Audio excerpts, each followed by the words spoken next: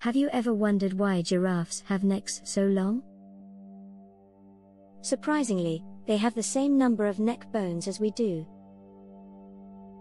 Both humans and giraffes have seven cervical vertebrae.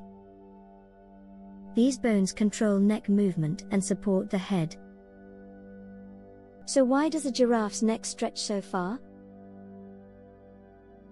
It's all about bone size and structure. Giraffe neck bones are much longer than ours. This allows them to reach high branches for food.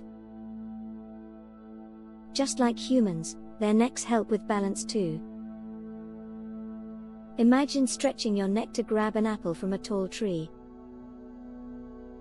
This adaptation helps giraffes survive in the wild.